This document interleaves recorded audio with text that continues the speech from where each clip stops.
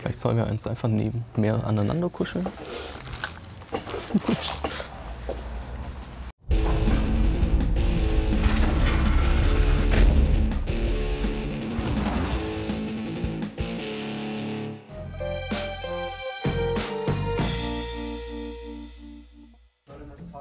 Ja, hallo und herzlich willkommen zu einem neuen Video von den Neckar Botchers. Wir spielen heute Warhammer Underworlds, genau genommen Nightvault, also die Starterbox von Nightworld.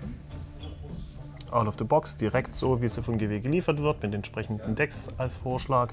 Genau, also so wie sie vorher vorgefertigt sind, genau mit diesen Decks spielen wir, egal wie balanced das jetzt ist oder nicht, weil wir wollten einfach zeigen, wie das Spiel jetzt so sich spielt mit der Grundbox an sich. Und von daher legen wir jetzt los. Genau, ich hoffe, ihr habt viel Spaß damit. Jetzt wird gewürfelt, wer sich die erste Karte aussuchen darf. Ja, ich habe zwei Erfolge, also Ich habe nur einen. suchst du dir jetzt zuerst die Karte aus und ich darf sie dann so legen, wie ich möchte. Wir nehmen diese Seite. Leg ich es mal so.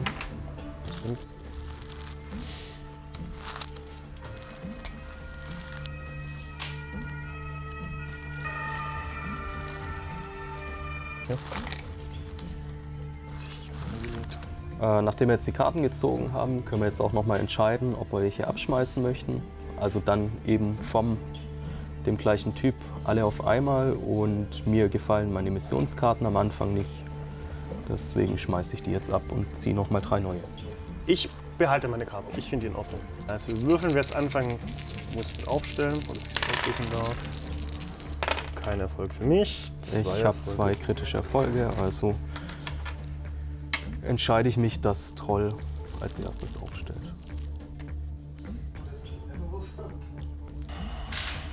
Also wir stellen jetzt abwechselnd auf, bis einer Bis alle nicht mehr aufstellen kann und dann stellt der restliche noch alle auf.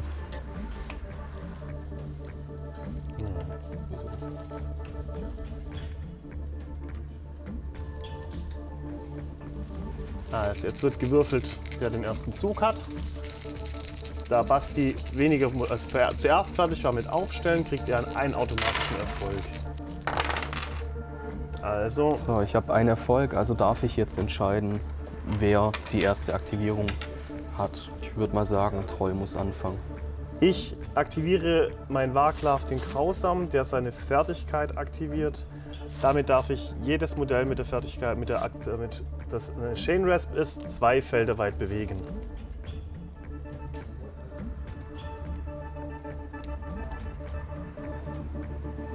Geister dürfen durch Unpassierbares hindurch. Ich wähle Phantomparade. Das bedeutet, ich kann ein Modell, das nicht bereits in Verteidigungshaltung ist, in Verteidigungshaltung begeben. Werte sofort, wenn drei oder mehr befreundete Kämpfer an denselben feindlichen Kämpfer angrenzen. Eins, zwei, drei. Gibt mir einen Ruhmpunkt. Ich aktiviere Averon Sturmvater, der macht eine Angriffsaktion, bewegt sich auf Missionsziel Nummer 2, adaptiert dann den Chain Rasp ohne Kopf. Da habe ich zwei Würfel und brauche die Hämmer. Und habe einen kritischen Erfolg. Und habe kritisch verteidigt. Dann darf ich dich trotzdem zurückdrängen. Dann spiele ich die Karte Ätherwing-Haltung. Äh, befreundete Kämpfer erhalten gegen die erste Attackenaktion der nächsten Aktivierung plus 1 Verteidigung. Ich spiele Gleitender Marsch. Alle Chain Rests dürfen sich bis zu zwei Felder auf den nächsten Gegner zu bewegen.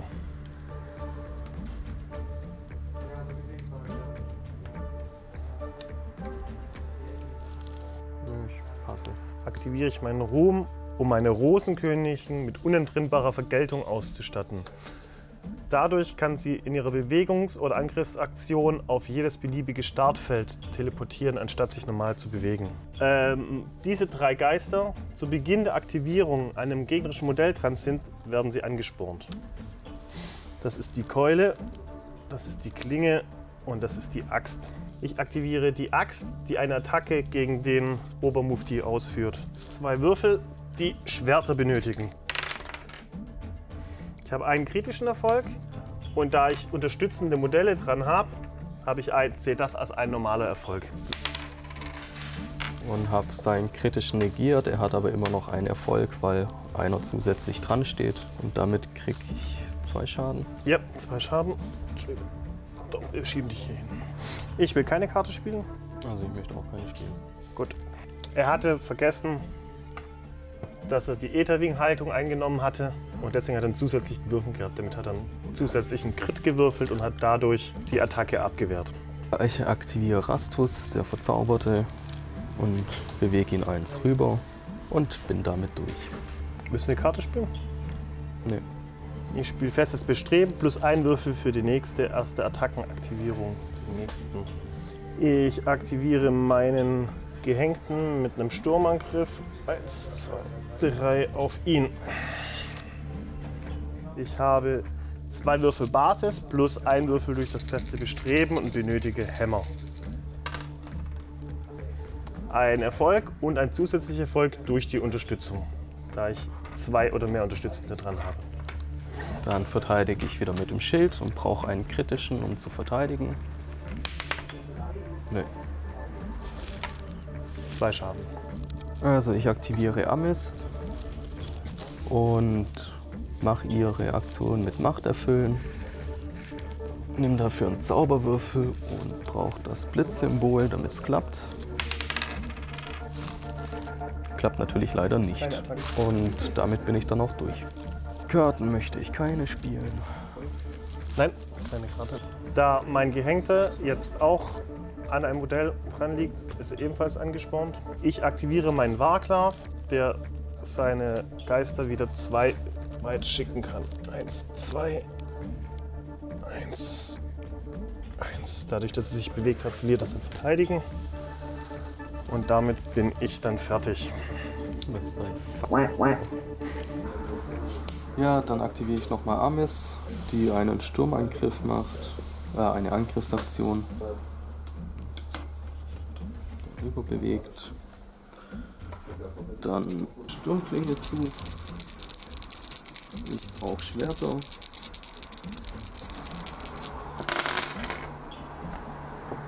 Ein Erfolg. Verteidigungsnötige Ausweichen. Ist das jetzt misslungen oder nur abgewehrt? Das ist abgewehrt.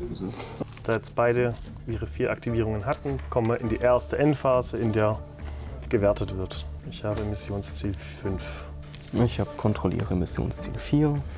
Kriege einen Ruhmespunkt. Jetzt könnte man noch ausrüsten oder Karten ablegen, die man nicht gut findet. Und dann wird nachgezogen. Äh, ich rüste noch Avaron Sturmvater mit Macht des Sturms aus. Kriegt plus 1 Schaden auf alle Zauber. Attackenaktion und gebe dafür den einen Ruhmespunkt aus. Dann haben wir noch unsere Karten aus nachgezogen und würfeln jetzt darum. Wer die erste Aktion hat. Oh, oh. Du. Jetzt darf ich entscheiden, wer anfängt und das bin diesmal ich. Ähm, ich aktiviere Avaron Sturmvater. Der macht eine Zauberattackenaktion gegen den Chain West mit der Axt. Ich habe zwei Würfel dafür. Ich brauche das Wirbelsymbol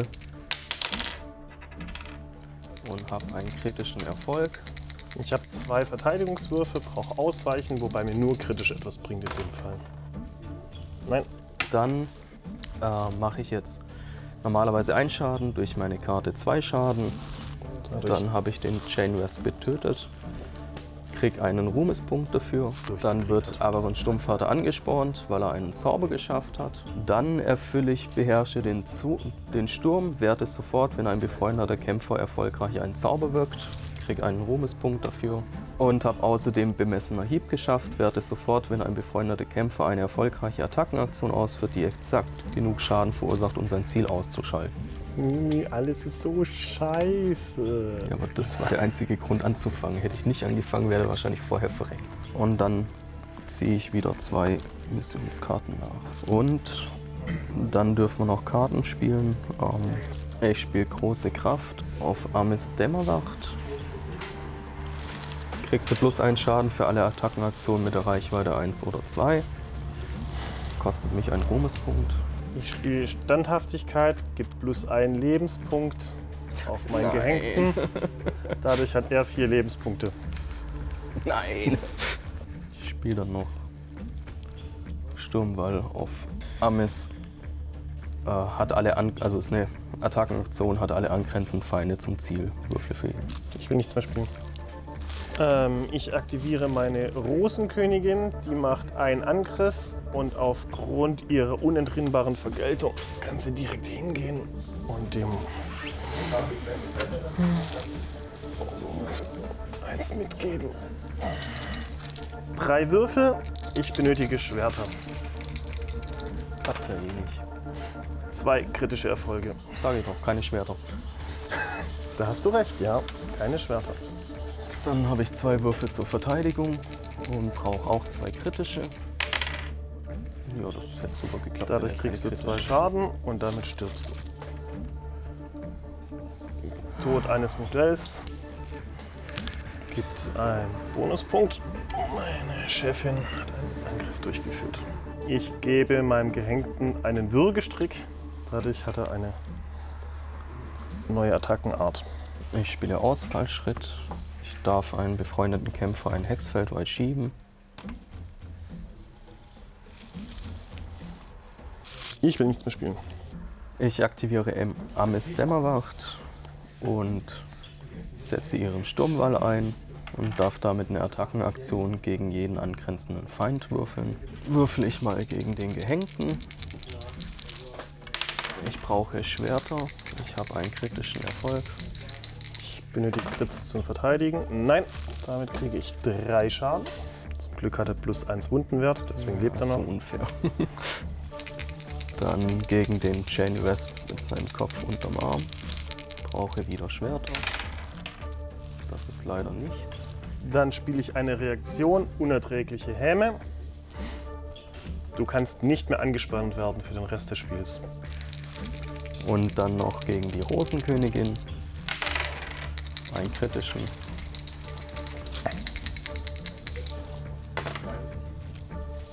Drei Lebenspunkte weniger für mich.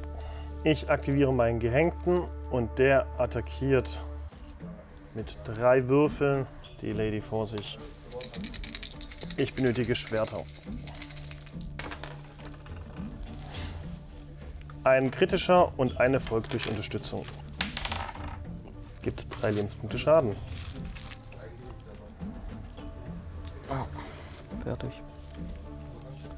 Ja, Dann aktiviere ich wieder Amis Dämmerwacht, mache wieder den Sturmwall gegen jeden angrenzenden Feind. Einmal gegen den Gehängten, ich brauche wieder Schwerter. Das ist ein Erfolg. ist verteidigt. Dann schiebe ich ihn trotzdem weg. Dann gegen den Chain dem Kopf unterm Arm. Kein Erfolg. Das ist gut. Ja. Bisschen versuchen, den Kopf aufzuschlagen. Ne? Wahrscheinlich. Und gegen die Rosenkönigin. Das ist ein kritischer Erfolg. Das wären zwei normale Verteidigungserfolge. Das tot. ist aber Dann kriege ich einen Ruhmespunkt für das Töten eines Feindes. Müssen wir spielen?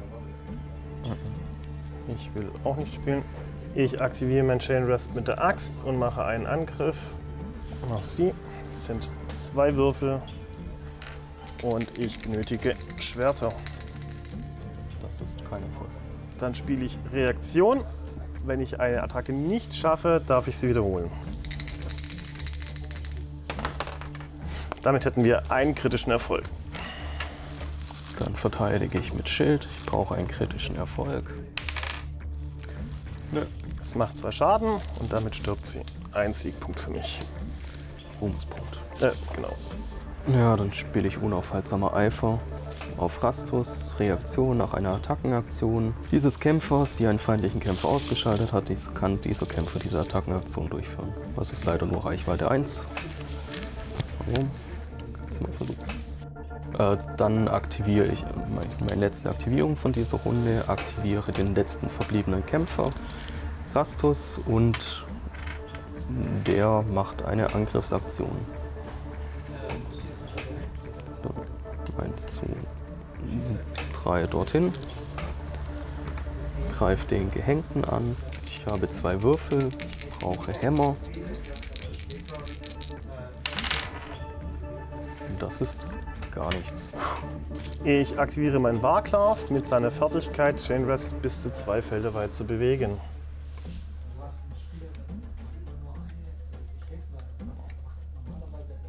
Äh, nicht wegrennen. Damit bin ich dann fertig. Gut, jetzt kommt die zweite Endphase. Jetzt wird wieder geschaut, was wir erfüllt haben. Ich habe Kontrolliere Missionsziel 5 erfüllt. Ich kriege einen Ruhmespunkt. Ich aber kontrolliere Missionsziel 2 erfüllt und kriege einen Ruhmespunkt. Die Lady ist tot, also ist das auch erledigt. Ich möchte diese Ausrüstungskarte abwerfen und ziehe danach. Ich werfe die beiden Missionskarten ab. Ziehe die letzten zwei nach, die ich habe. Also dann würfeln wir wieder darum, wer anfangen darf, beziehungsweise entscheiden darf. Jetzt Wir haben beide kritisch. einen kritischen.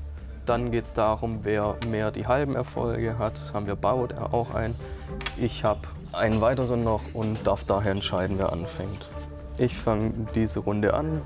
Ich mach, aktiviere meinen letzten verbliebenen Rastus und mache seine Zauberaktion mit Macht erfüllen. Und brauche ein Blitzsymbol. Das habe ich geschafft. Dadurch ist er jetzt angespornt. Und wenn ich den Zauber erfolgreich hab, äh, gewirkt habe, dann darf ich bis zum Ende der Phase bei jeder Attackenaktion einen Attackenwürfel erneut werfen. Damit bin ich durch. Dann gebe ich einen Ruhmespunkt aus, um Standhaftigkeit zu spielen. Dann kriegt er plus 1 Wundenwert. Dann spiele ich noch Blitzpeitsche auf ihn. Als Reaktion, nachdem eine Attackenaktion dieses Kämpfers erfolgreich war, füge dem Ziel der Attackenaktion einen zusätzlichen Schaden hinzu. Kostet mich wieder einen Ruhmespunkt und weil ich dann immer noch einen übrig habe, spiele ich noch große Geschwindigkeit auf ihn und kriegt plus 1 Bewegungswert. Ich aktiviere meinen Gehängten, der einen Angriff ansagt. Griffsaktion.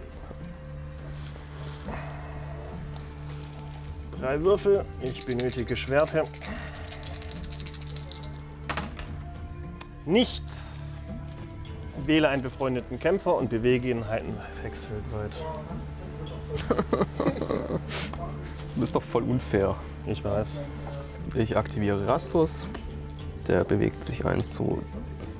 Halt verdammt, jetzt habe ich mich verzählt.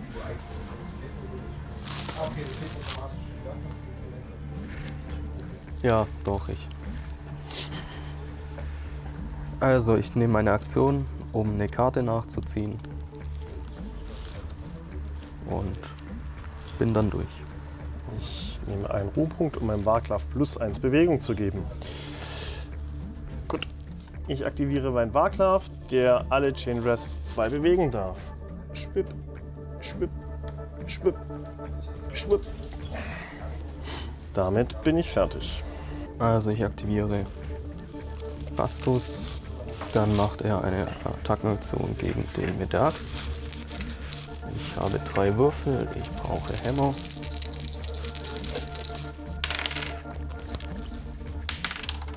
Zwei Erfolge. Zwei Erfolge. Ich habe einen Würfel auf Ausweichen. Nicht gereicht. Das müsste dann mein Geist töten. Sehe ich das richtig? Das macht zwei Schaden, ja.